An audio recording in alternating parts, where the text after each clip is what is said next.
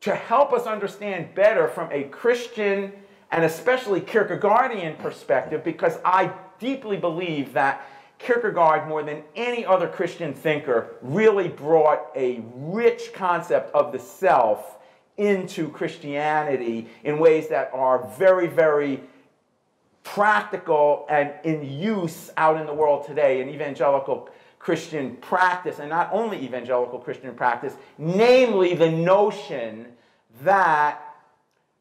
our self is God